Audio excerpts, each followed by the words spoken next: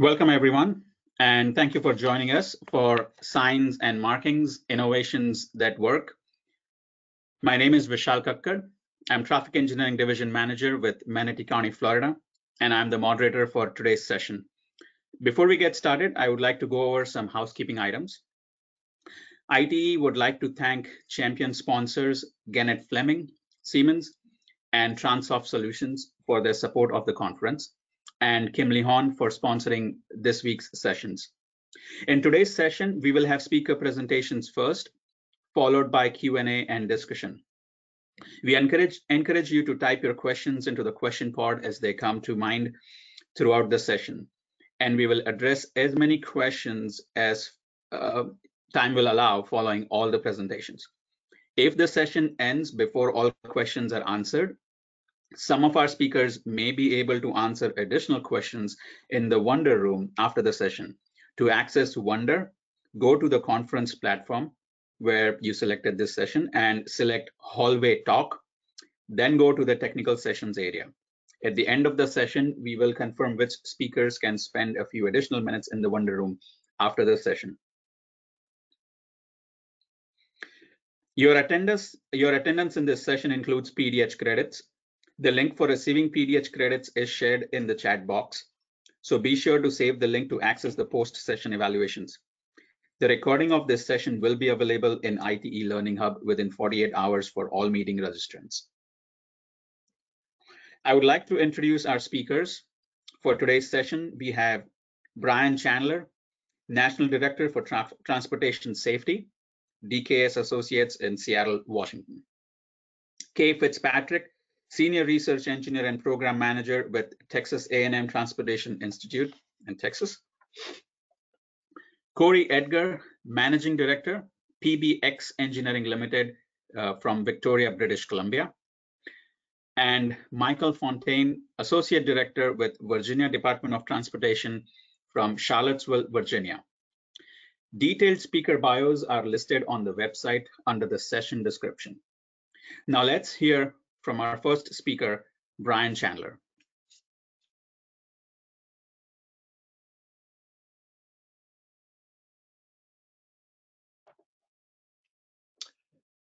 Hi, everyone. This is Brian Chandler, and looking forward to talking to you today about practical transportation solutions to save lives.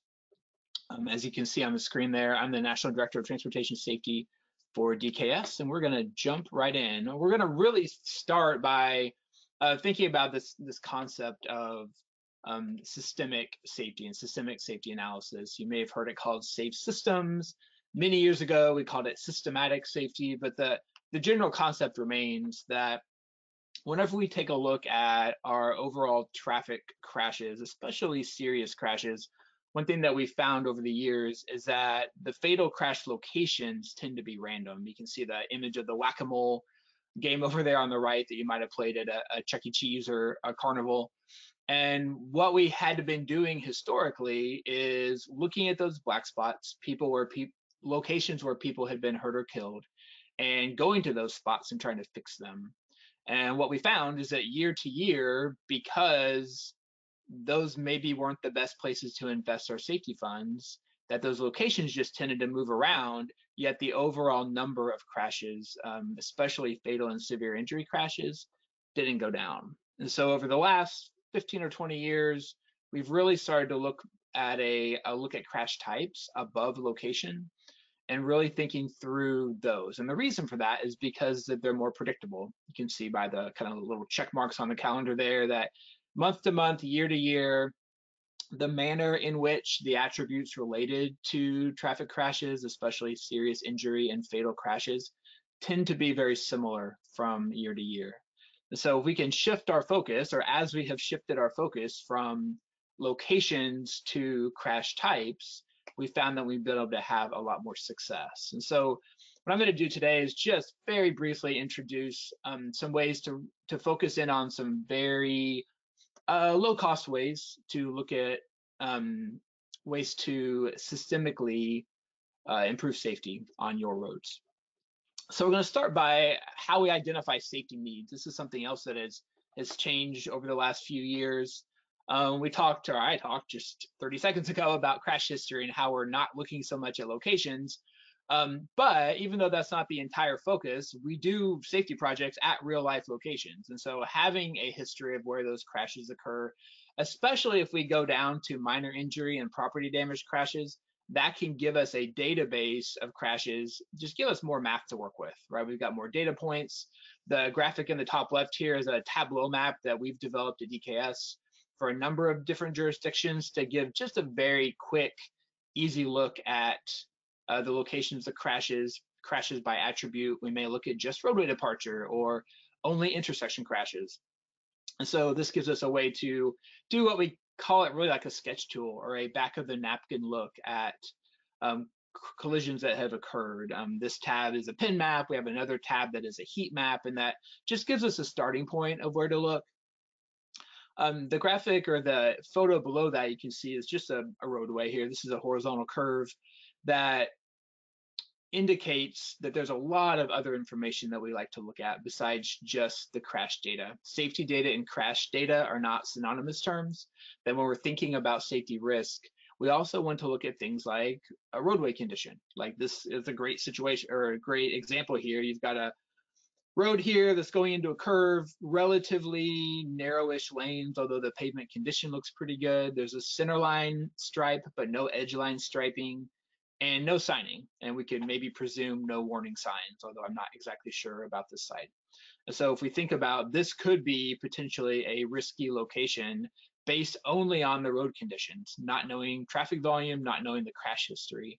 And that leads to thinking also about traffic data. What about traffic volume or the makeup? Who are the road users here? Are there bicyclists, pedestrians, large trucks using this facility, motorcyclists? And what might some of their unique needs be at this location. And thinking about when we do a low cost safety treatment, can we affect more people if we put that treatment at locations that have um, a higher traffic volume? So just thinking kind of turns the crash rate discussion on his head a little bit, but it's just worth another kind of a different look at how we're analyzing crashes.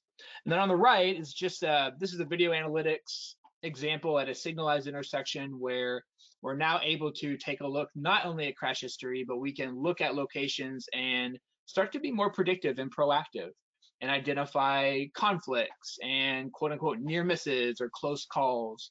We can see some user behaviors like red light running and um, maybe vehicles encroaching on the crosswalk in a way that we couldn't before using the new technology tools that we have available.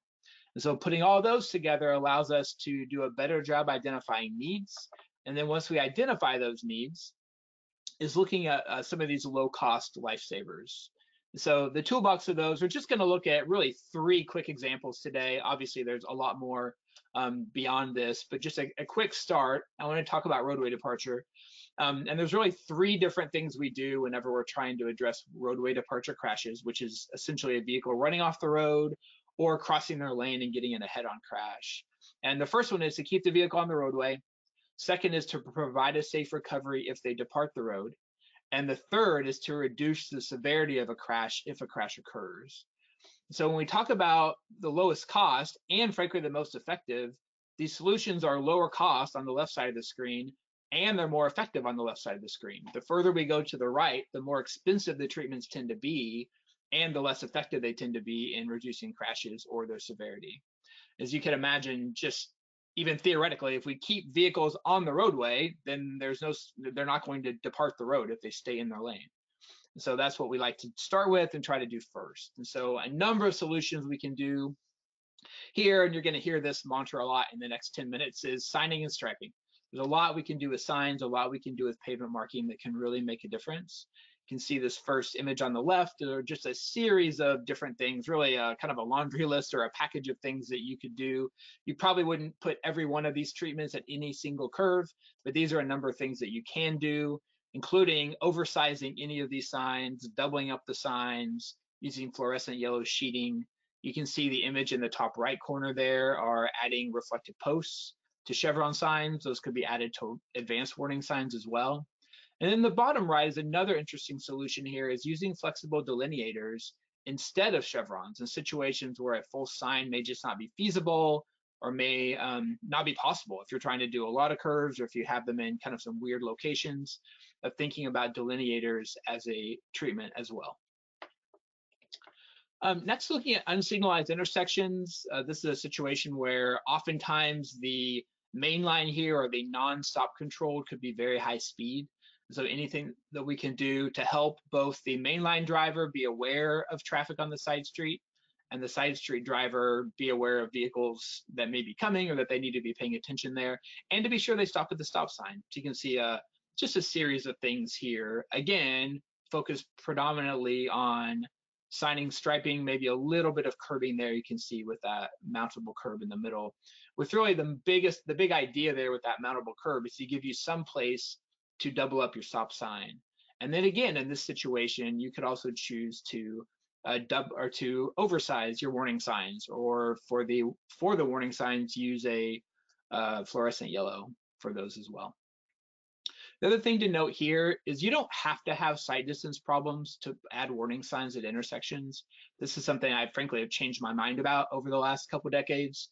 Um, I used to do sight distance analysis before I would even consider putting up either an intersection warning sign, like you can see there on the, the main line, or a stop ahead sign. But to me, if you've got locations where you're seeing a history of crashes at all at these intersections, um, warning signs are a really good, inexpensive starting point to try to address that need. And then signalized intersections, um, we've got a whole package of things. The first image in the top left there are adding things like one head per lane, um, lane control usage signs. Um, that may be a little bit beyond what we would call really low cost um, in today's conversation, but it's that next level where you're still um, finding ways that you can improve safety at a signal. The bottom left there is a protected left only. Um, really, the two ways that people get hurt and killed at signals are left turns in front of other people in a permissive left turn and angle crashes that are usually due to red light running if it's a vehicle to vehicle crash. The next image there in the middle is again warning signs, kind of continuing the theme here of, of signing and striping. You also can make some connections between the warning sign and the signal itself with a little bit of technology and some flashers. You can tie the traffic signal timing into a flasher so it only goes off when that signal is yellow or green, or sorry, yellow or red for the approaching driver.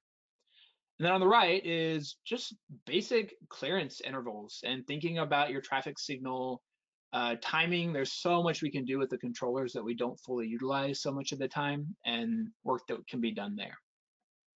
Also want to be sure to take a, a special look at um, pedestrians and bicyclists. Just anyone who's walking, biking, or rolling on our system. An image that you've probably seen several times now is that when a pedestrian is hit at different speeds, their possibility of surviving that crash goes way down as the speeds go up. And so some things that we take a look at as we're thinking about pedestrian and bicycle safety are speed limits first. You know, there's a number of cities that are looking at um, target speeds and then setting speed limits accordingly.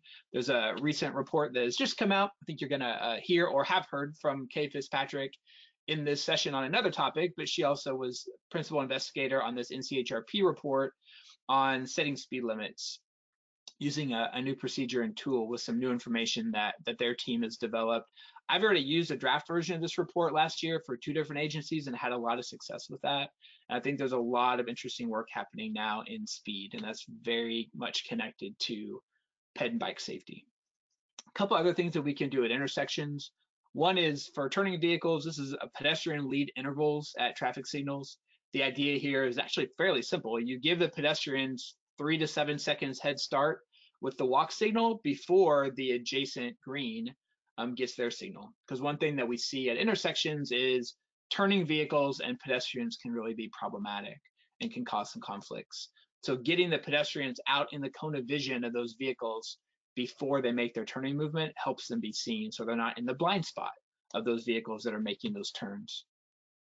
And another more recent treatment over the last few years has been a um, called a couple different things: a hardened center line, left turn traffic calming. I've heard it said, with which is really a similar concept of one getting the pedestrians in the cone of vision by having those left turn vehicles needing to make a more kind of angular um, turn. And the other thing you can probably infer from that, if you see it, is that that left turning vehicle is going to have to take that a lot slower, right? Because their radius of turning is significantly uh, tighter than it was in the left scenario there. So that's an important piece there to keep in mind. And then the third part of this is you've identified the stuff, you've, you've um, come up with some low cost treatments, and it's really important that we take care of the things we have. So uh, a little game to play right now is find the sign. I made this field visit just about three weeks ago and noticed that there was a, a warning sign totally covered up. And really an important part of this, we do not want our drivers or any road users having to play Where's Waldo to find the signs, especially warning and regulatory signs, which we very much need them to pay attention to. Um, maintenance is a big deal. Uh, maintaining these signs, that first image there on the left, that, that it's a stop sign in case you can't tell. I saw that on the same field visit three weeks ago that I took the other picture. So there's some, some maintenance issues going on here. It could be anything from vegetation clearing, being sure you're checking on retroreflectivity. You could have knockdowns and missing signs. Again, I'm going to mention signal timing as a, a maintenance issue, maintenance and operations. And wanted to make a one quick call out. This image in the bottom right, um, I just saw this a few days ago. This is from a um, city in Kansas that it has a just very easy, low cost. One person can go in and replace a knockdown stop sign. You can see there's a series of just, it's really kind of ingenious, just makes it really easy to do that without needing any tools or very few tools. Um, there's some some details about that on the Federal Highway website. They identified that just as a a, a quick look there. So maintenance, super important. So just to wrap up, really three things here is uh, identifying your safety needs, thinking more about the types of crashes um, than the location of a particularly severe crashes, and then focusing in on um, those types, and then using tools beyond just crash history to identify your needs adding these low cost lifesavers that I just walked through and showed. And then also being sure that you maintain what you have. It's really important that the investment that you've made in these, whether it's low cost or high cost safety treatments, that it's really important that those are maintained. And with that, thank you very much. It was good to be with you and looking forward to Q&A. Thank you. Thank you, Brian. That was um, wonderful. Thank you for making the points. Specifically, me being from a local agency, uh, maintenance could not be stressed enough. I know how our maintenance folks they work very very hard um, to get us out of a liability situation, but also to make sure that all road users are safe. Imagine a knockdown stop sign uh, can cause a very severe angle crash um, and or worse, a fatality. Uh, uh, again, reminder, if you have any questions for Brian, please include them in the question pod um, because we will be taking all the questions at the end after all the speakers uh, have uh, presented. Our, our next speaker is Kay Fitzpatrick. Kay.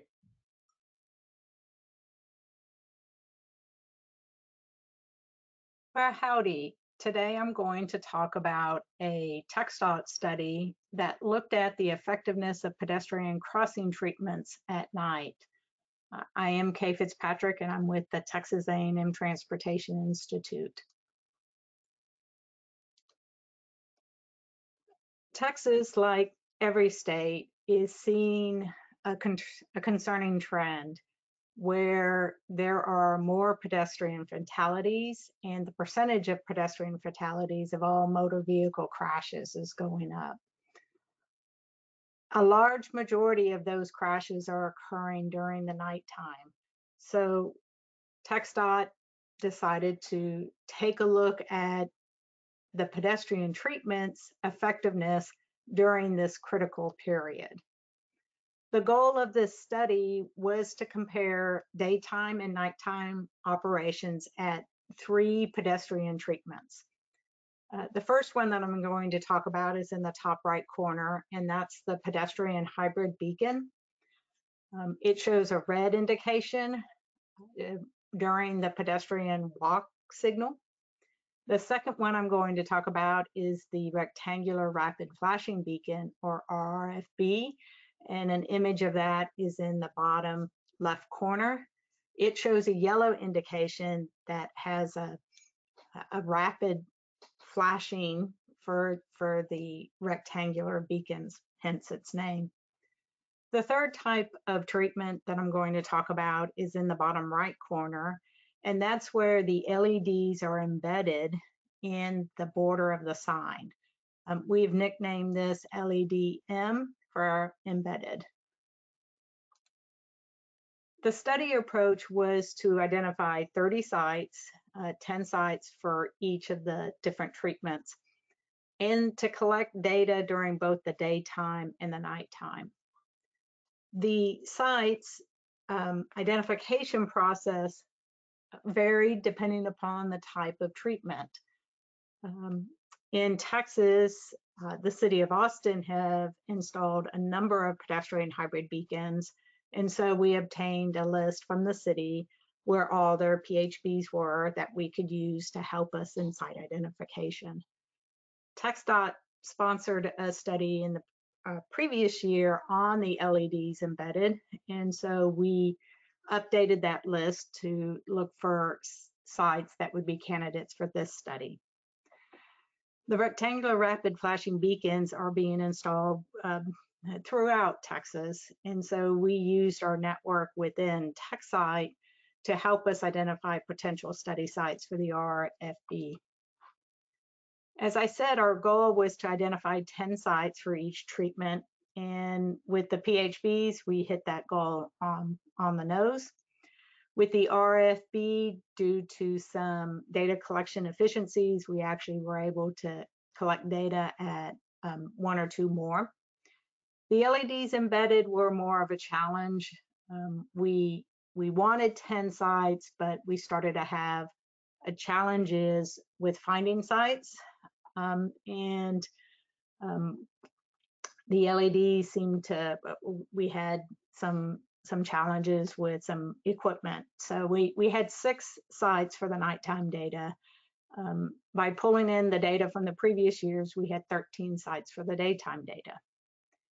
When we were selecting sites, we used the posted speed limit and the median type as um, to help us decide which sites, because we wanted a range. We wanted some low speed and some high speed sites. We also decided to, to only have two and four lane roads. So we eliminated the, the six lane roads, um, which was an, uh, more of an option for the PHBs. We used a protocol called staged pedestrians for, for the measure of effectiveness at our sites. The stage pedestrian is a TTI employee who has been trained to approach the crossing in the same manner for every site. We want the pedestrian behavior to be consistent so that when we're looking at the differences between the PHB and the RFB or the LED embedded, we have more confidence that it's the, the treatment itself rather than the behavior of the pedestrian. The uh, goal was to have 60 stage pedestrian crossings, so that's 30 one way and 30 the other, or four hours. And um, we um, we collected the data between November 2019 and February 2020 for the nighttime. Um, because we pulled in some data from the previous year, we also had some May 2019 data. So here are the answers per site. Uh, driver yielding is, you can think of it as the percent or the decimal equivalent of drivers who yielded that should have yielded. So we want 1.0 or 100% of our drivers yielding that should have yielded. And what you can see in this graph is the red closed circles are nighttime, the red open circles are the daytime. And for the PHBs, it's very, very high, uh, above 95% in all cases. Um, the next thing that, that really pops out for me are the, the blue diamonds. Again, the open diamond is daytime, the closed diamond is nighttime. And, and what pops out is the big range of driver yielding values at these types of pedestrian crossings. Um, we go from 5% all the way to about 82%. The uh, RRFBs are, are kind of that middle band of findings where it's it has driver yieldings up between 60 and, and 95%. So this graph shows the individual sites. The next graph shows the statistical findings when we consider all of our driver yielding data for all of our sites, for all of our treatments. And the graph here is, is an average, um, um, a statistical prediction of what it would be for the, the various treatments during daytime and nighttime. The question we wanted to answer was, are these devices more or less effective at night?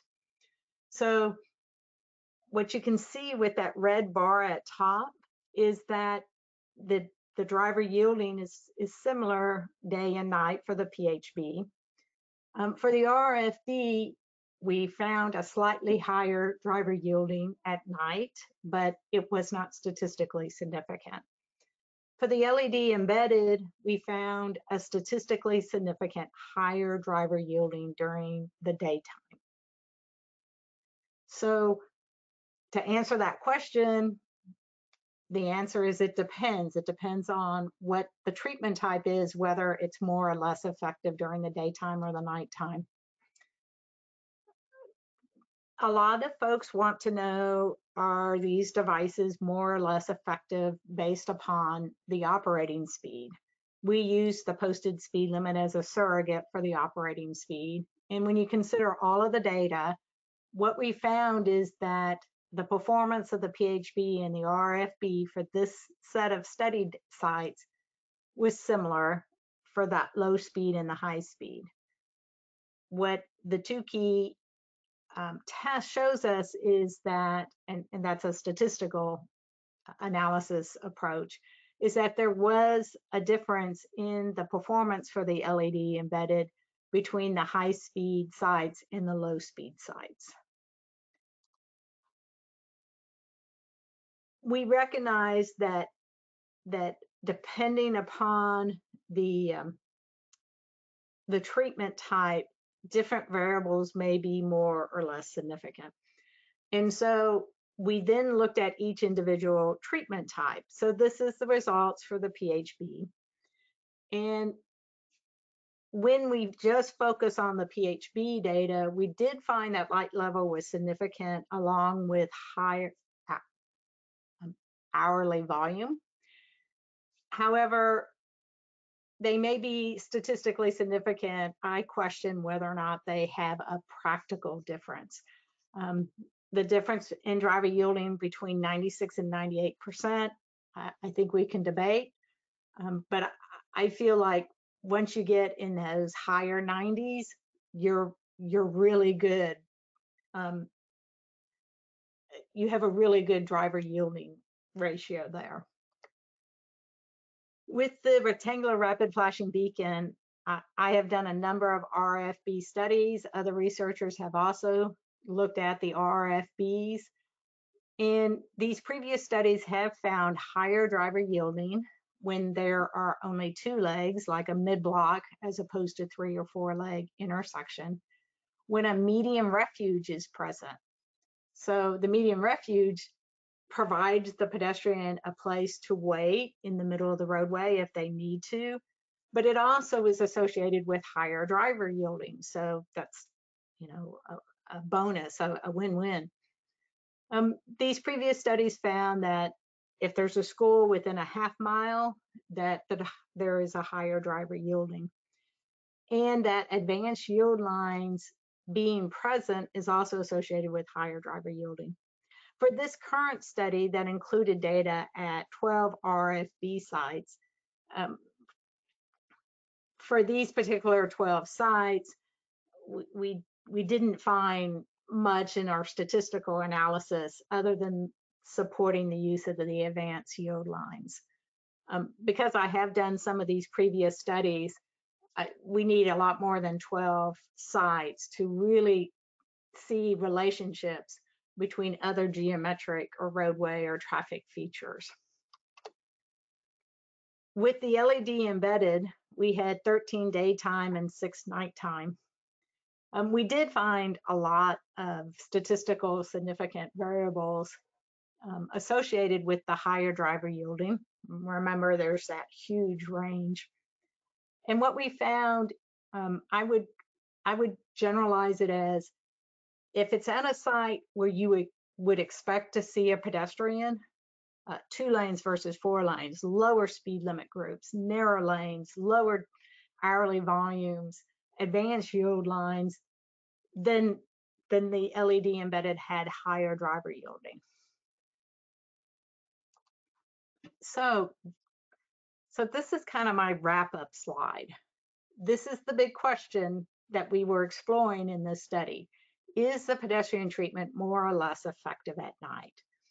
And this slide is of box plots where the box represent between the first quarter and the third quarter.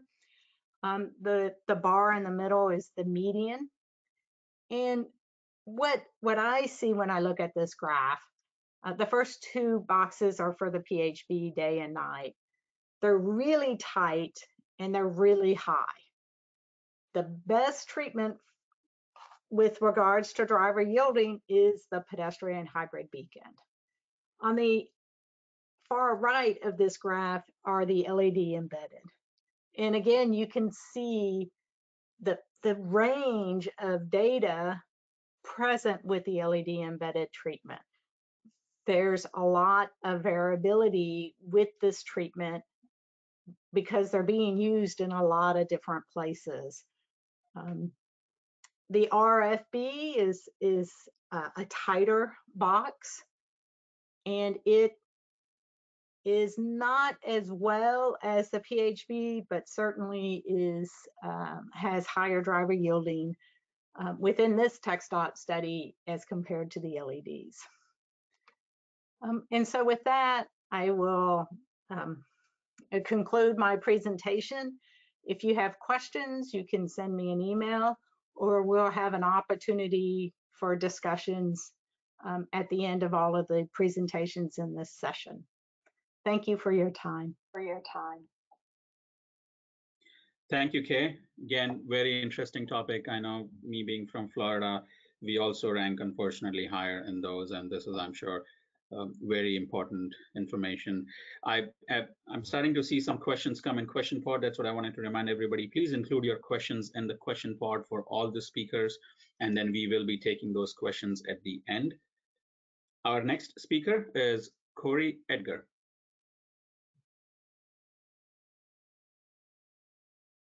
Welcome to the Variable Speed Limit System presentation. My name is Corey Edgar from PBX Engineering. Uh, today's presentation is regarding uh, two different types of variable speed limit systems that we've deployed in the province of British Columbia. Uh, first, uh, coming from a rural highway safety speed review that was conducted in 2014, which led to the installation of uh, variable speed limit systems on uh, Highway 91, the Sea to Sky Highway, Highway 5 Coquihalla Highway, and the Highway 1 Trans-Canada Highway um, through the Revelstoke area. Uh, following the successful installation of those systems, we worked on uh, some additional systems uh, in the Fraser Valley that went live actually in 2020 on Highway 3 and Highway 1. I'll tell you a little bit more about how those systems differ. So the initial rural, rural highway, rural highway set systems we deployed were on, uh, uh, as I mentioned, the Sea to Sky, Coquihalla, and the Trans-Canada Highway, um, where these highways pass through more than one climatic zone. Uh, and there's significant changes in elevation as you traverse the highway. Um, and where maximum speed limits, you know, really just are, are, are set uh, with an intention for you to choose an appropriate speed um, depending on the conditions. And drivers aren't always great at, at making that appropriate choice. So There's a map indicating where those systems are. And there's a hope to uh, improve safety in adverse weather conditions. The two additional systems we deployed on Highway 1 uh, through the Fraser Valley, these are more uh, urban systems. Well, there's still a freeway, uh, sorry, still a climatic changes and, and, adverse weather. We also see a lot more uh, traffic on these sections. So the, the systems and their, uh, how they operate is unique to uh, congested freeway environment. You know, four lane cross section as well. Highway 3 system, still a rural system, but uh, incorporates some of the latest uh, developments in, in our deployments. So in 2014, 2017, that was a, well, we did a gl global jurisdictional review of systems. Uh, we looked at uh, um, different state DOTs and, uh, and uh, studied how they've performed, their systems that performed and their concept of operations that were developed. Uh, we assessed the ministry's existing systems, uh, which uh, when we deployed the Fraser Valley systems, we look back at the rural ones that we completed and, and uh, built upon them to enhance and improve performance. We looked at uh, speed harmonization in the urban areas when we did the Fraser Valley section, so reducing the risk to motorists and providing uh, more predictable travel times were the goals for uh, employing speed harmonization. As I mentioned, our jurisdictional review, that included uh, Washington State, Oregon DOT, Virginia DOT, Highways England, and the existing systems in BC um, when we when we re revisited this in 2017. So we we looked at uh, these deployments from a you know were they regulatory, were they advisory? The BC Ministry of Transportation chose to go with a regulatory um, method as, a, as opposed to advisory signage. Um, the each type of system we looked at, you know, was either a tra traffic responsive only or weather and traffic responsive. So these are just some of the some of the factors we looked at here and their lengths. And we looked very detailed, of course, at sign spacing and placement as well. We'll talk a little bit more about that. So our concept of operations that we developed for, for BC uh, broke down the system into uh, to include a road weather subsystem, which looks at pavement condition uh, as well as visibility. And we developed a traffic subsystem as well, which is looking at uh, uh, the 85th percentile traffic speeds on the roadway, as well as traffic density. So with the road weather system, subsystem, and the traffic subsystem, you've got some automated uh, response and automated uh, variable speed limits. We also have RTMC, the Regional Transportation Management Center, as it was called, uh, TMC uh, operators who can provide input as well to the system. Um, and depending on the subsystem, sorry, depending on the, the lowest speed selected, uh, any of the subsystems can, uh, can dictate speed limits on the roadways. The lowest speed is selected. Our concept of operations included a review of uh, the signage itself. So uh, we, we, we wanted to go with a regulatory type sign that uh, we went with a hybrid that's a combination of a static message which really looks like your, your conventional uh, MUTCD speed limit sign, at least the Canadian version, and uh, a regulatory, sorry, a, uh, an LED display uh, fitting right on top of that. We added a flashing beacon to help um, um, draw attention to the sign when the speed is reduced below the what would normally be the maximum speed. So in this example, uh, you know, 120 kilometers per hour uh, would be the regular posted speed when conditions are good. And when the speed is reduced to 80, the beacon would be uh, would be flashing or any speed below 120. Uh, we have a spacing of approximately five kilometers for the between signs for the rural installations, and on the the more urban environment in the Fraser Valley, we've got a one kilometer spacing between signs. And some supporting signage, uh, including dynamic message signs, which can help advise motorists of conditions ahead, and some supporting static signage uh, as you enter and leave the variable speed limit corridor. So for road weather information, we are using infrared uh, sensors on the side of the roadway. we're uh, measuring in both directions of travel. Uh, we are looking at grip factor, visibility, um, and of course pavement temperature and pavement condition. And with both directions of travel, you know, the, the rationale there is that you may have a, a snow plow come through, you know, say northbound on a highway, and then southbound, uh, it hasn't passed by yet. So you could you could have really disparate uh, conditions both northbound, or sorry, between northbound and southbound. And in 2017, we introduced additional sensors to to look at present weather conditions, so uh, rainfall, temperature, humidity, etc., uh, wind speed as well. Uh, for the traffic data, we're uh, using a radar technology and looking at per vehicle data. So this is uh, not an aggregated, you know, five minute volume. We're looking at actually individual vehicles passing by the sensor. Uh, one of the reasons we're doing that is that we're uh, on some of the highways where we've got mountainous terrain. We're actually looking at truck truck traffic and removing trucks from some of the algorithms so that they have less influence on uh, on the posted speed on the highway. So if we uh, we're not reducing the travel, uh, sorry, reducing the the posted speed just because there are slow moving trucks. Uh, in the case of uh, uh, the Coquihalla Highway, for example, where there's quite a climb for for trucks coming up the the grade. Then we look at historical volume, speed, occupancy, and as I mentioned, classification to to help do that filtering. On the side of the highway, we, you'd see typically these types of field control cabinets. We're using a programmable logic uh, controller um, type device. It's actually, in this case, we see in the picture is a uh, Campbell Scientific device that um, does the, includes all of the, uh, the algorithm associated with decision making in the field that happens in the field right, right there in the cabinet. So power distribution, uh, cellular modems, data logger, uh, sign control, and uh, backup power supply systems. On the rural highway, what you'd see uh, typically this type of installation configuration of the signs across from each other and for both directions of travel, leveraging the same um, cellular communications and power distribution and, and CCTV uh, coverage. So by putting those signs across from each other, kind of share a lot of the same infrastructure. In this example, of course, the sign is covered with bag before deployment.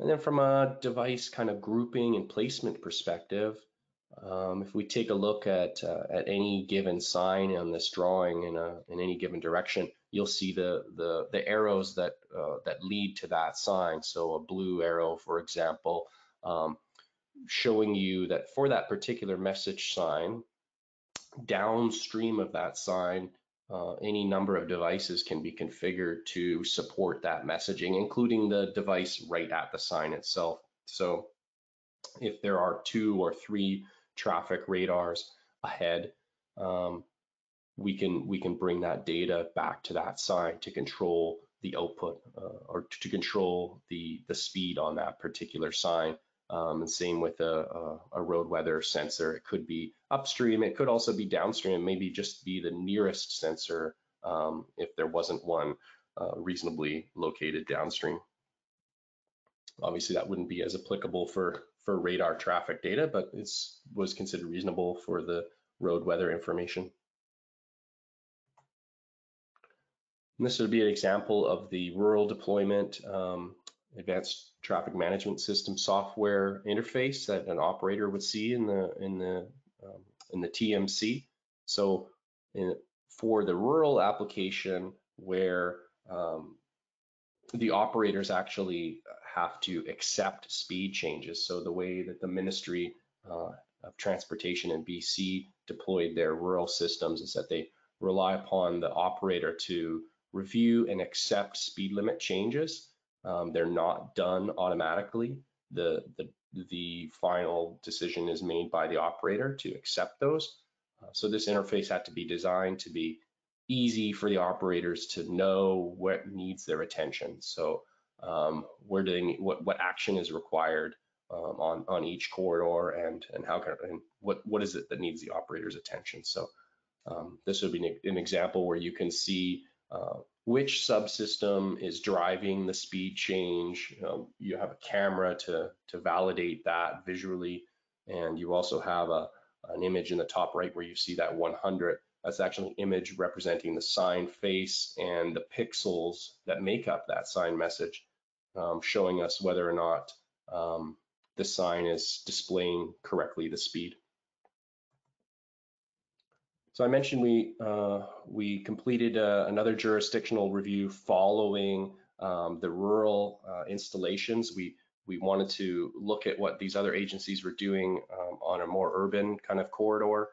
We explored, um, you know, the sign dimensions, for example. Um, we looked at uh, the sign placement above the lanes um, and what other agencies were doing with spacing. The ministry had been successful already with the three rural installations um, and with the Fraser Valley more urban sort of uh, installation.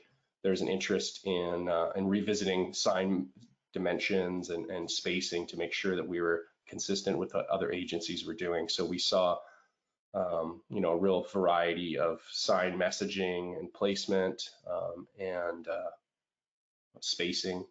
We also, we saw that other agencies, as you see in the top right here, are using other types of message signs on the on the same gantries. In this case, it's displaying travel time messaging, but we've also seen these dynamic message signs being used to explain a little bit more about what's up ahead um, with respect to variable speed limits. So for the Fraser Valley, we looked at uh, larger signs um, and more frequent spacing. Uh, we looked at uh, considering um, occupancy when we look at the, and not just speed of vehicles. Um, we looked at uh, speed smoothing and cascading, which I'll show you a little bit here, but um, a little more about in future slide, but we are looking at smoothing out that speed to um, make, if we wanted to say make a reduction to 60 kilometers per hour downstream, we might slowly bring people down to that speed so that you've got a 60, an 80, you know, a 90, and 100 um, to slowly get down to that lower speed.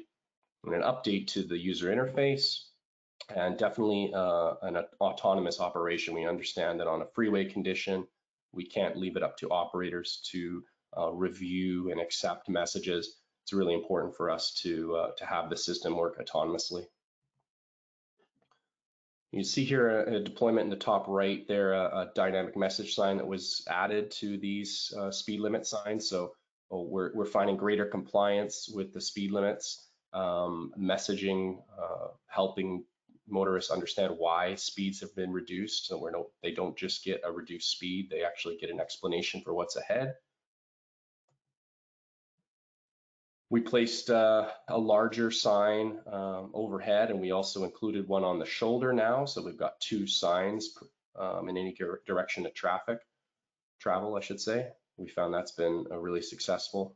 And here's some additional photos just to give you a sense of what these signs look like uh, when we're uh, doing our factory acceptance testing.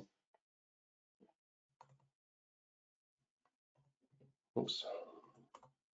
And I'll just show you here with this slide the, the concept of the uh, cascading speeds. So you'll see that there's an incident at six, and we've reduced uh, the speed to 60. Upstream, you'll see that slowly reduced from 110 to 100 to 80 to 60 so that we don't uh, have an immediate abrupt change from 110 kilometers to an hour to an hour to 60, for example. So there you have it. That's the end of the presentation and thanks for your time.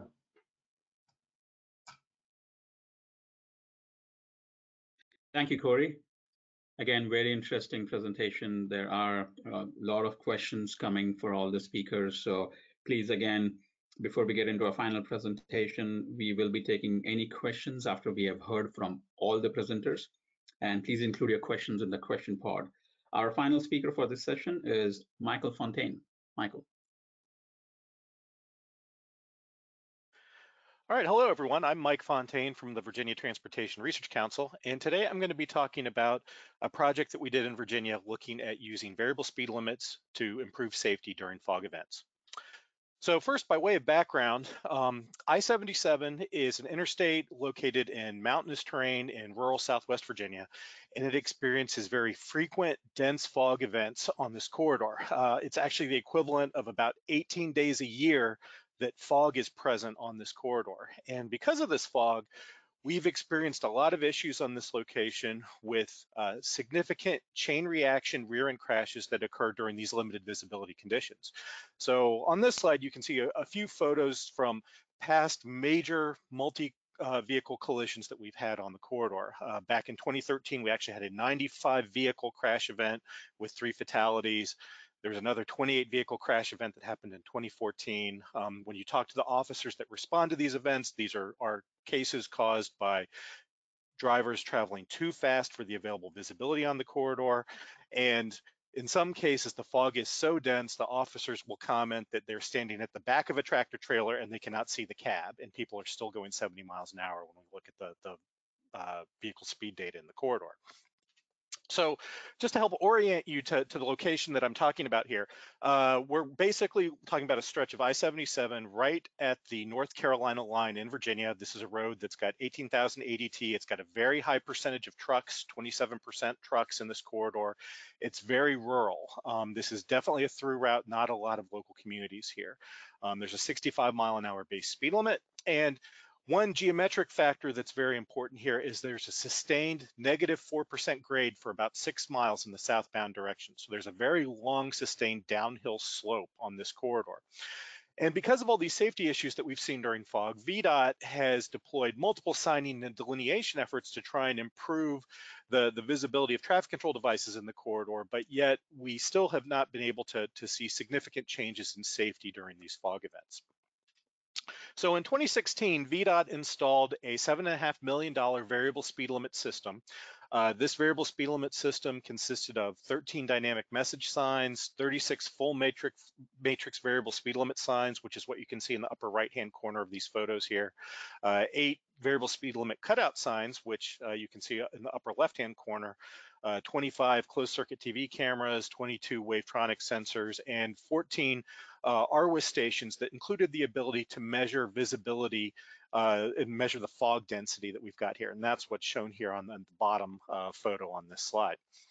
Um, and basically the whole goal of this variable speed limit system was to try and adjust our speed limits so that they represented a safe speed to traverse with the dense fog that we're seeing in this corridor.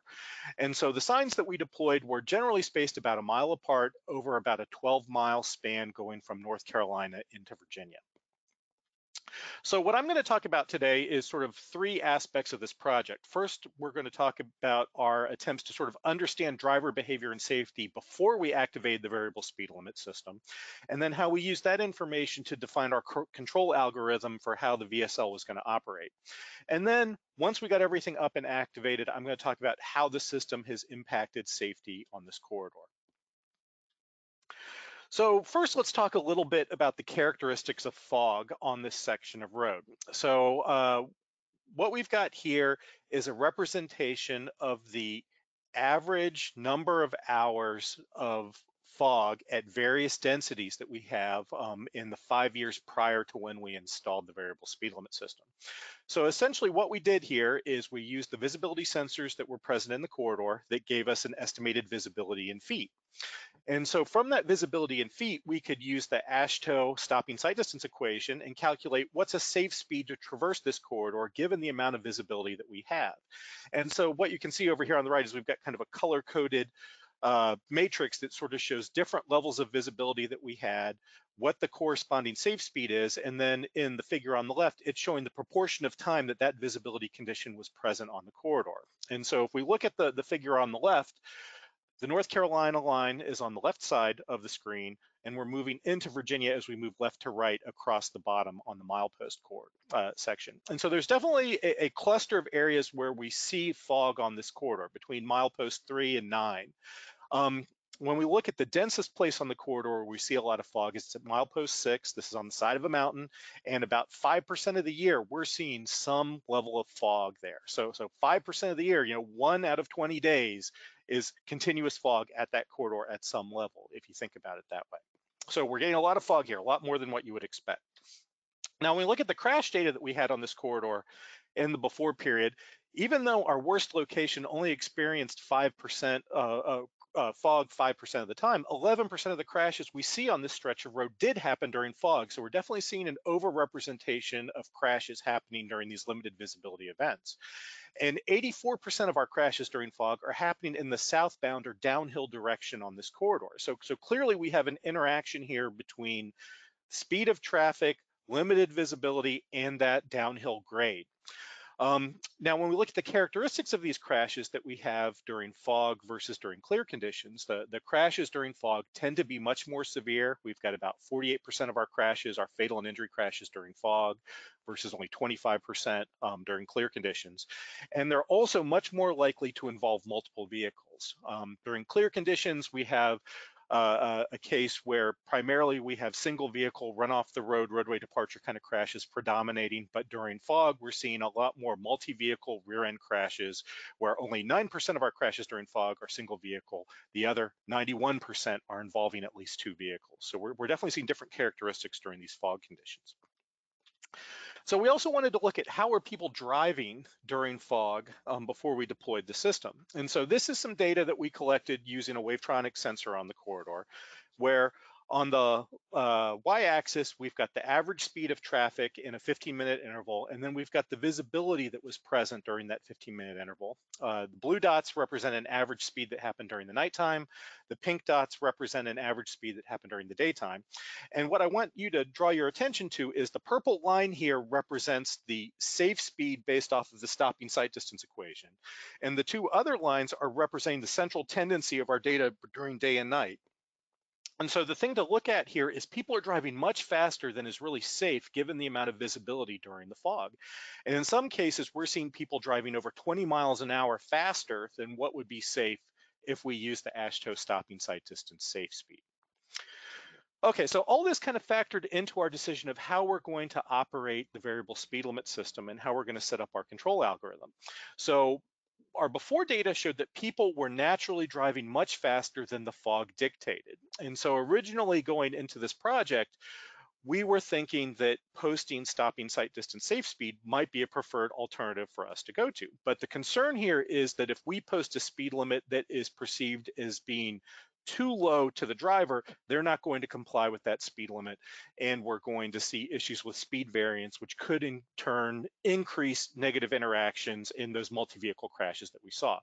So instead, what we did is we created a step function that basically split the difference between what people were driving now and what we wanted them to drive to hopefully try and encourage that compliance. So the algorithm uh, basically set the speeds based off of the worst visibility location. Then the, the variable speed limits along the corridor are smoothed and grouped together in order to transition into and out of the fog. Uh, speed limits could decline by up to 10 miles an hour. They're updated every six minutes, and we had a 30 mile an hour minimum that we could post. Uh, on the education side and, and enforcement side, um, we couldn't do automated speed enforcement in this corridor, so we had to rely on manual enforcement. And obviously, there's a lot of concern about officer safety if you're going to manually enforce these speed limits. So really what happened is that the variable speed limits were archived and they were used to write citations after the fact, but we didn't have officers out there during the fog actively uh, enforcing the variable speed limits. Um, as I mentioned, a lot of the uh, traffic in this area, eh, this is a very rural area, we had a lot of through traffic, so there was, most of the outreach happened through increased signing and advanced warning that we provided on the corridor. You can see some of the uh, warning uh, uh, signs that we posted on the corridor that alert the drivers that they're entering a variable speed limit zone and why the speed limits are going to be varying uh, on the corridor. So we're really focusing on the unfamiliar through drivers uh, when we're doing our, our outreach. Okay, so what, what happened on this corridor once we turned everything on? So I'm gonna show an example. This is one location, this is about milepost four. And on the left, we've got our before data. On the right, we've got our after data, same location. The green line represents our stopping sight distance safe speed. It's the exact same line on both sides. And what I want you to focus on is the blue line, which is sort of the central tendency of our data. And so what you're seeing here is clearly the speeds have come down and they've become more in line with what we want people to drive based off of the stopping sight distance safe speed. So we have been able to reduce speeds and get increased compliance here. Um, one thing I do want to mention here is that when you look at the orange dots, the orange dots on the before data are based off of 15 minutes. The orange dots on the after data are based off of six minutes. So if the, the data in the after period looks a little noisier and looks like there's more variability, it's just a function of the time aggregation, not a function of the fact that uh, there was no increase in variability in the data. It's just because of the time intervals that are being compared in this figure.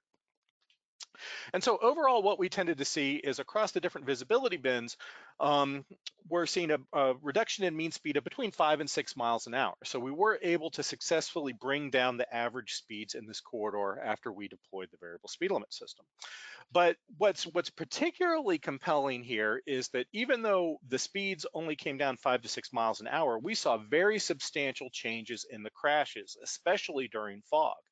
So the table here documents our changes in crash frequency, um, just looking at, at, raw crash numbers. And so when we look across all conditions, um, we saw that there was about a 10% increase in overall crashes, around an 11% decline in fatal and injury crashes when we compare three years before activation of the VSL to three years after activation. And neither one of those changes were statistically significant when we did, um, when we tried to look at the crash modification factors. However, when we looked at the fog crashes, we saw a 70 to 80% reduction in crashes that occurred after we activated the variable speed limit system. And so we were able to look at this using the empirical Bayes method. We found that these crash reductions were in fact statistically significant. And you know, we were able to generate very, very large reductions in crashes as a result of this variable speed limit system going in. Okay, so uh, in terms of effectiveness and lessons learned, a few things that I want to point out. Um, the drivers did not necessarily decelerate significantly until they reached the fog zone. So in our case, we were uh, slowly stepping down the speeds at, in order to transition from the normal posted speed limit into the reduced speed in the fog. And the drivers didn't necessarily decelerate with those reduced speeds until they actually saw the fog itself.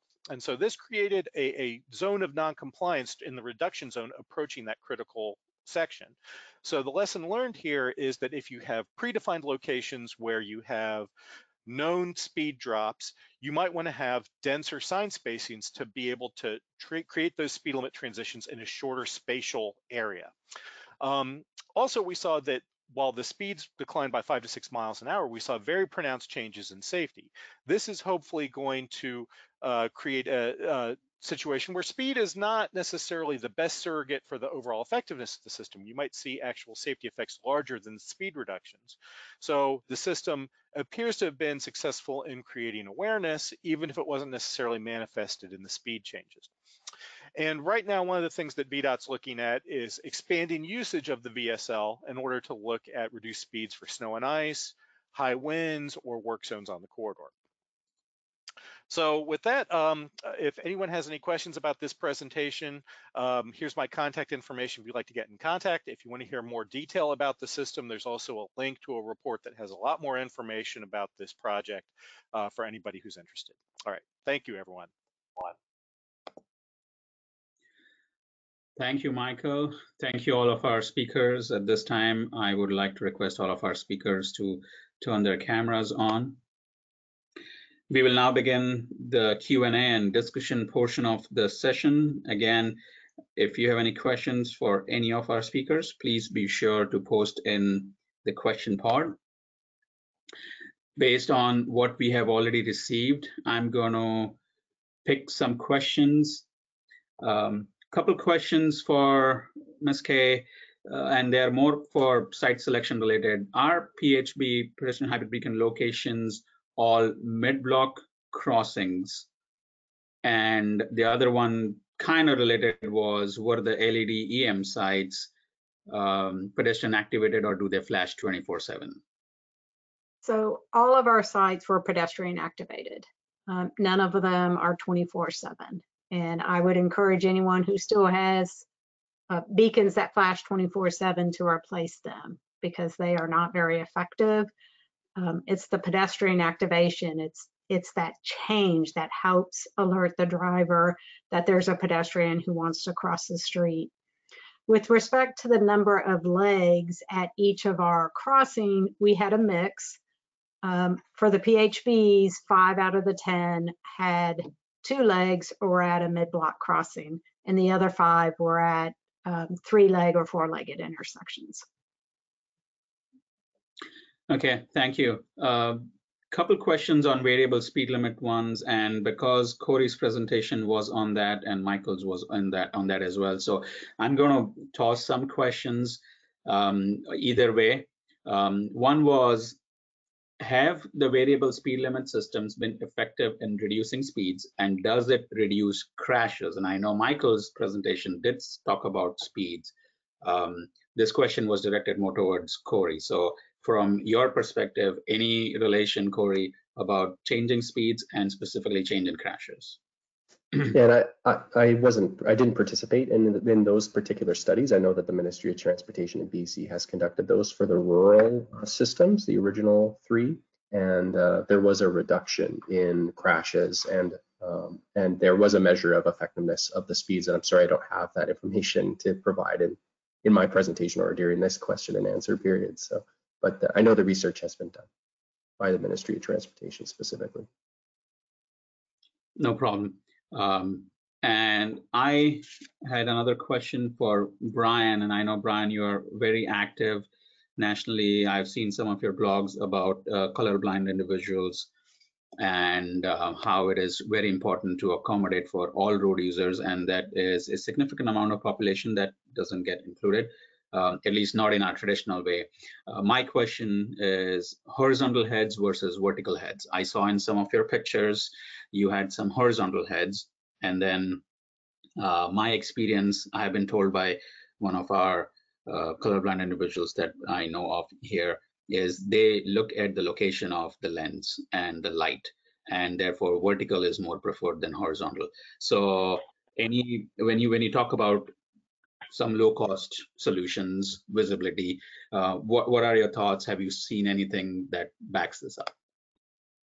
Yeah, the, the thing about, so yes, and thanks for bringing that up. So there's definitely a significant portion, roughly four to 5% of the population, at least in the United States, has some kind of color vision deficiency identified. Um, and so one of those issues where it often comes up is that signals. And so the horizontal versus vertical heads could be one of those, even though you're right, I kind of caught, you caught me or I caught myself too, um, when I presented on that. One of my slides does have a, a horizontal head. Um, I very much prefer vertical heads and I, you know, I've written about this before. Um, I know there's some states, particularly in the South, that do have a lot of horizontal heads for various reasons, wind load and otherwise. Um, that's a pretty big policy issue most of the time. And oftentimes an agency isn't going to go in and just decide to switch from horizontal to vertical. Um, but it's something that I think can be important. The other important piece of that is if you have horizontal heads, being sure that you're following the manual and that your red is always on the left. And that is technically supposed to always be true. It's a shall condition in the manual, but it's not always true in real life. Um, so that's a pretty important piece to where it's easy to know, oh, red's always going to be on top, right? We, we don't see that messed up very often um, but having red on the right instead of the left can be an issue. Um, my other little soapbox on signal heads right now is having the two different colors in the same indication. So this is actually being used, and I'm seeing it used more and more often, going from a four-section flashing yellow arrow configuration to a three-section flashing yellow arrow, and putting both the green and the flashing yellow. Am I saying that right? It's, it's having green and yellow in the same head, and it's it's done several different ways. Um, but that's particularly problematic for me because I'm not able to see that change physically going up the head from green to yellow. And that's, I think it's a pretty big problem. It's allowed in the MUTCD. Um, I made my opinion known in the, this last round of comments, um, but I'm seeing it happen more and more often. For, and you can imagine why. You know, it's a cost savings. It's there's a value of of trying to do that, and so it, I can see how it would make sense but there is a subset of drivers who will be confused and would potentially make a bad decision um, based on that. So that's one of Thank the things I would have us. Yeah, absolutely. Thank you. Thank you. Uh, for Michael, uh, this is more of a question comment. Rather than speed reduction, could crash reduction by the variable speed limit system be best attributed to reducing the perception reaction time? So I, I think that's certainly a possible reason for the crash reduction that we observed. You know, certainly we're alerting drivers that something's coming up. And so hopefully they're more prepared to address, you know, an unexpected event there. You know, the and that would dovetail with the fact that we're seeing sort of that disproportionate change between speeds and crashes, where the speeds only went down five or six miles an hour, but our crashes went down 75%. So, you know, even though people were still over driving based off the amount of available visibility, it's possible that we don't need that two and a half second, you know, perception reaction time that we assume in the uh, stopping sight distance equation, because people are alerted to the condition that's happening, and, and that may be a potential influence that we've got there. Thank you. And this next question could be for Corey or Michael or both. For variable speed control, do you ever use one speed for uphill traffic and a different speed for downhill traffic? Yeah, in our corridor on I-77, um, we're controlling each direction of travel differently because we have this six mile long 4% grade. So our downhill is set based off of the speeds that we're seeing in that direction and then uphill is set accounting for that 4% uphill grade. Um, and, and I, one thing I didn't mention in my presentation that Corey mentioned that I, I think was good is uh, in our uphill direction, we actually have a truck climbing lane, which we're not using in any of our speed estimation in that corridor. We're only focusing on the, uh, the two lanes that are using the the pass that are not influenced by those slow moving uphill trucks. So so we're definitely setting by direction, but we're not setting by lane. We're setting by direction, but not lane by lane. And that applied even to the I-66 project that I think Corey uh, talked about briefly uh, in Virginia uh, as one of our other variable speed limit systems. And if I could just cool. add to that, um, yeah. That we also will find like differing conditions uh, for road weather as well. So um, if a, if a snowplow has come through and cleared, you know, one one direction and not the other, for example, so it doesn't even have to be on a steep grade. And, and as you said, Michael, we're we're actually filtering out truck, regardless of which lanes the trucks are in. We're looking at the classification and pulling them out of the equation.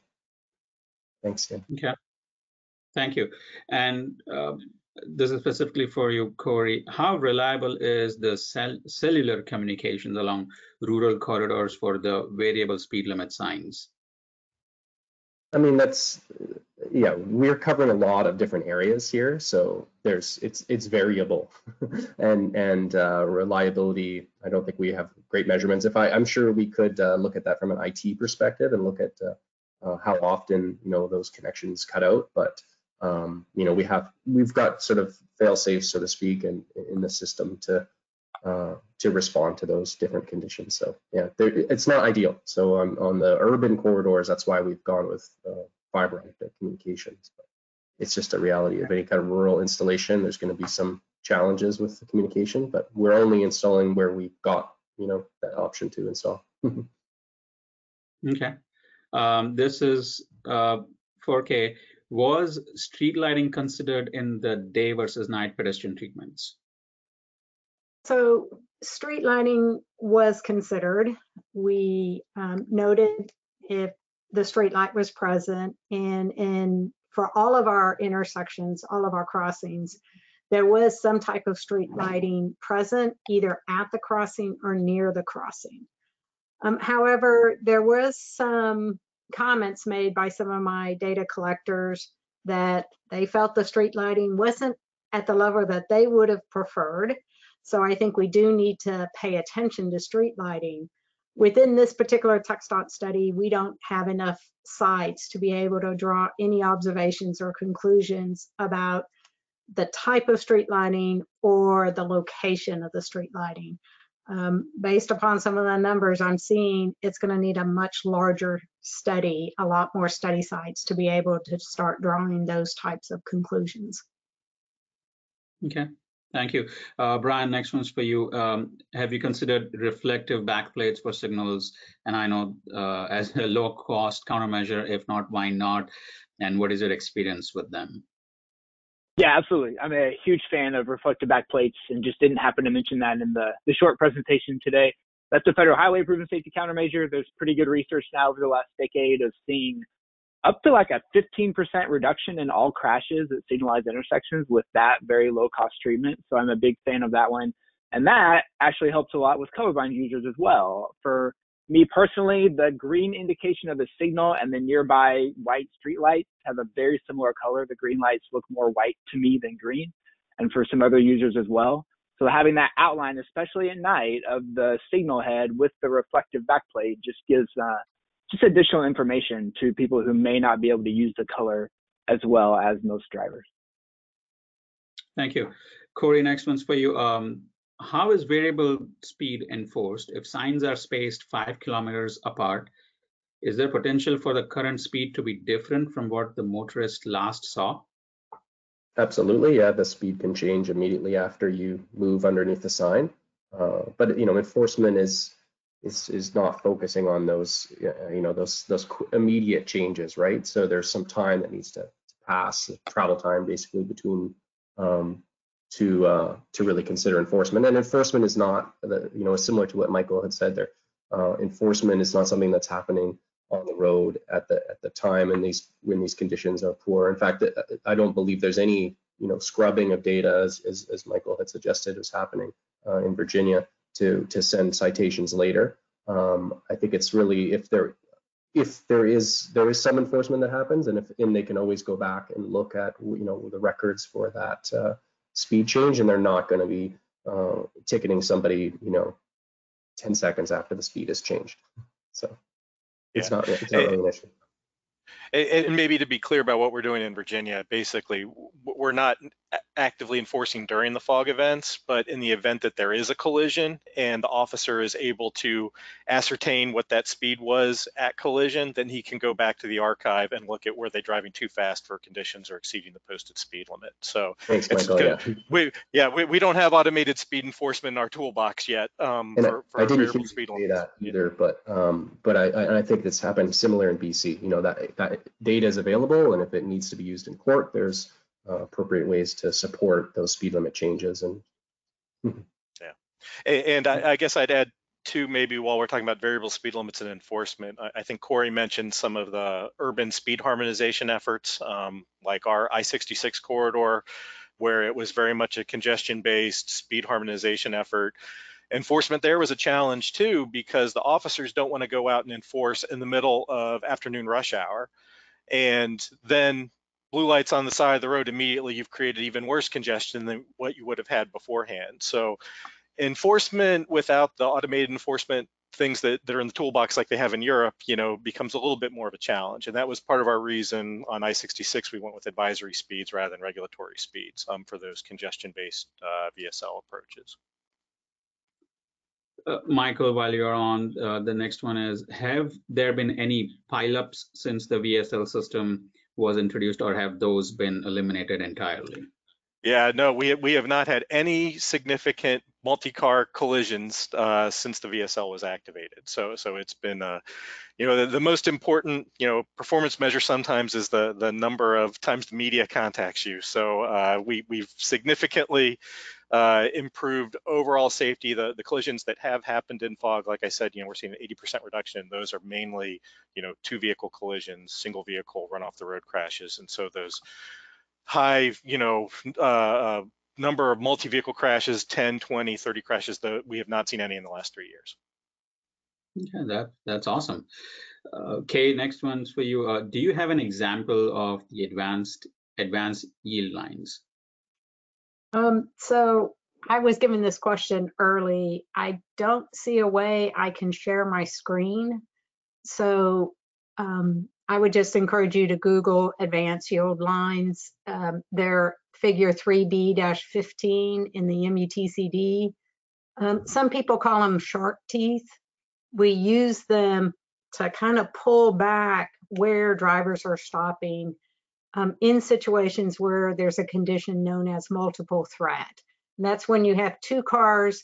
Well, it's it's it's to stop the car from passing a stopped car and and hitting the pedestrian by pulling them further away from the crossing.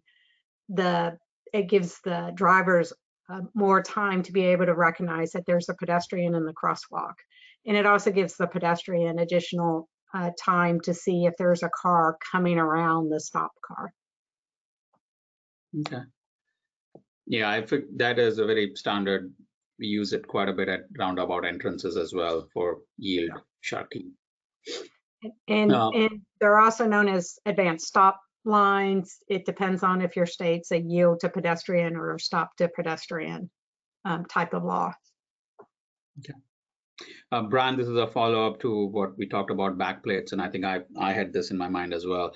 What is the preferred color for backplates? And to my head, also signal housing because uh, the, the the question uh, is I have seen both yellow and black. I think black makes signal indications pop more. Yeah, so in terms of the signal housing, I like black. I don't have any like research behind that. I, first, I would say having a backplate in the first place, whether it's reflective or not, um, can make a lot a big difference. Again, not to harp on the colorblind thing, but for everybody, like you said, it just makes the signals pop more if they have that black backing. Um, in terms of the retroreflective sheeting around the outside and the color of that, I, I would just yield to whatever the standard is. I kind of forget. I've seen white and yellow both used over the years. Um, I feel like yellow might be the standard now, but I'd actually refer you back to the federal highway documentation on that. It's they have some pretty good stuff on that. And you know, if Jeff Shaw is on or around sometime this week, which I'm sure he is, he'd be the the resident expert on that um, nationally. I think related to that, the detail of that treatment. And to build on this backplates and reflective ones, I know it is it is preferred specifically state of Florida where the red light running cameras are good one day and not good the other day.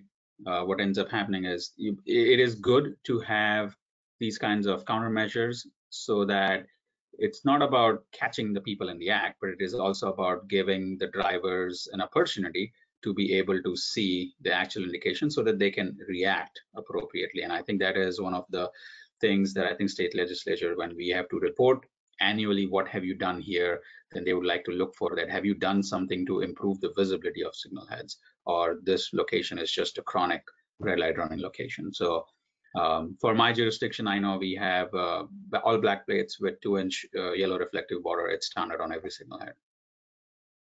Yeah, and really quickly on, so I'm a fan of automated red light enforcement. I think it, it works. We have really good data that shows that it works in reducing red light running and then also reducing angle crashes at signalized intersections, especially those that have an indicated problem. I've also become increasingly convinced over the last few years that a lot more people than I thought red, run red lights on accident. I think we've learned this by doing more video analytics analysis of signalized intersections and um, it's not always that they're pushing the yellow into the red and then they're running it two or three seconds after. Sometimes it's mid phase and it's just weirdly random. And I think some of those are on us. Like we need to make our signals more conspicuous to be sure that people um, can see them as well as possible. And of course, it's on them and all of us as we're driving to be paying attention and not be distracted. But I think there's a there's more happening there than just catching the bad people who are running red lights. Um, I think red light running is more complex than that. I agree. And and to the visibility issue, I think you men mentioned the maintenance as well.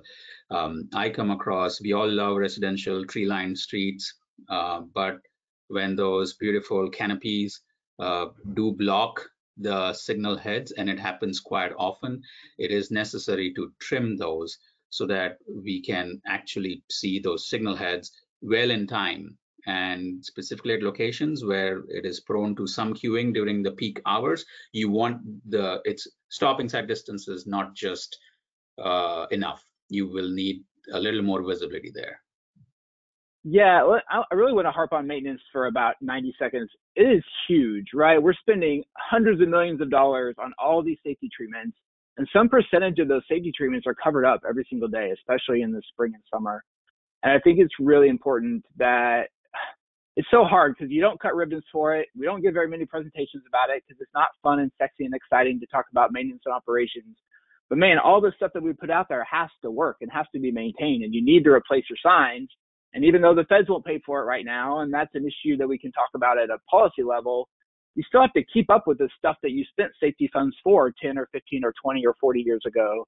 And it's really, really important. And guess what? We're not getting more maintenance people to do it. And so we've got to get better and smarter about how we operate and maintain our system. And I think all the TSMO related stuff and things that we're doing in those areas are really important. But just being sure that we care for and take care of and really understand how hard a job um, just daily maintenance and operation is, and that those people don't get to go to the Capitol to shake hands with the governor. I think that's unfortunate and something that we need to be thinking about more and thinking about ways that we can just do a better job maintaining the things that we have. Absolutely. Couldn't couldn't agree more with being a local agency. Um, Kay, the next one is um, how does and I I think this is I'm going to take this a one step further. It's a the question is how does the cost of PHB compare to RRFB? And I think maybe the underlying question is the return on investment. Well, um, because uh, you provided me the questions in advance, I did, I was able to Google the numbers. And based upon what I found, the range for a PHB is between 20 and 120,000 with an average of about 60,000 as compared to the RRFB, which can be between 10 and 15,000. So the RRFB is uh, lower cost. Um, and, and that starts to get into some of the trade-offs to try to reach that uh, benefit cost comparison that you are alluding to. Um, we have crash modification factors for the PHB. We have the start of crash modification factors for the RFB, but they um, struggled because of sample size. So hopefully we'll have another RFB safety study soon so that we can get some more robust crash modification factors for that treatment and we can look at some trade-offs. If you use driver yielding as as a surrogate, we we saw in my presentation that there are some places where the driver yielding at an RFB is very high, um, as high as a PHB. But then we have a lot of other locations where the driver yielding um, in earlier studies was as low as 15%. So there are definitely places where the RFB is not very effective. And, and I tend to agree, and some of these are geographically uh, influenced as well, where you do it, depending on where the drivers are. I'm talking about if you're in Miami versus Tampa versus Orlando, even in the state of Florida, uh, where you have visitors coming from different states and uh, or different countries, and they come here. So th there are a lot of factors that go in sometimes what we call it is we want a red component so that people universally know red is equal to stop. Uh, yeah. And it also depends on the law that is in your state. Is it yield to pedestrians in crosswalk or stop for pedestrians in crosswalk? So there are a lot of factors that go in it. And my opinion is something is better than nothing. Uh, mm. So if the money is an issue, then RRFB is a good start rather than uh, plain static signs um, more compliance, even if it is in the 20s or 30s range, is better than five and seven. Every life saved is is important. Um, there are some places though that I would caution about using the RFB. We found that the wider crossings, the six lanes, is not very good with the RFB. Another location is when you have a trail um, intersecting, say, an arterial street. Hmm. Uh, drivers aren't expecting pedestrians in this kind of suburban, ex-urban setting where there's a lot of greenery because because there's the trail through the green space, and and because of this unexpected pedestrian appearance, uh, the driver yielding. In fact, the 15% number I quoted was at a trail crossing. So in those cases, I'm not saying don't don't treat it. I'm saying treat it even more. Um, we know that those trail crossings can be challenging, and so additional treatments may be needed to appropriately communicate to the driver that there is a pedestrian or a bicyclist needing to cross the street. Yep, absolutely. Uh, to stay on time, I look at the clock, it's 1228. Excellent discussion. Uh, I want to thank all of our speakers and thank you all for attending today. I would like to ask if there are more questions, which I see a couple more questions. If any speakers are going to be in the Wonder Room, uh, then they uh, then please let us know. To access Wonder, go to the conference platform, uh, uh like where you selected this session and select Hallway Talk, then go to the technical sessions area. Are there any uh, speakers who would be willing to be in that hallway talk? Because there are a few more questions that we could not cover. Yeah. All right. Um, as a reminder, to receive PDH credits, you must first view the entire webinar, live or recorded. Hopefully 200 of us were here. Uh, so we have, uh, you could stick with us, uh, complete the evaluation associated, and then your credit certificate will be unlocked and available under the certificates tab located in your ITE Learning Hub account. The evaluation link for this technical session is also posted in the questions pod for attendees to access. Also, the recording of this session will be available in ITE Learning Hub within 48 hours for all meeting registrants.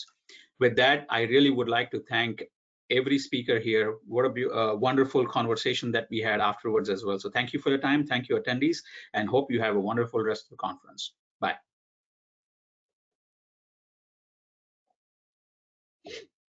Thank you, guys. Thanks, everyone.